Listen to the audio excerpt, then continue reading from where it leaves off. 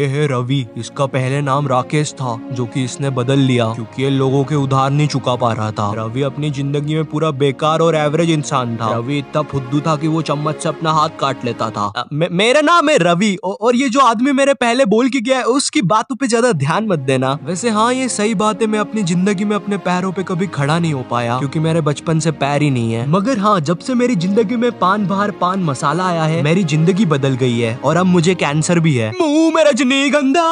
कदमों में दुनिया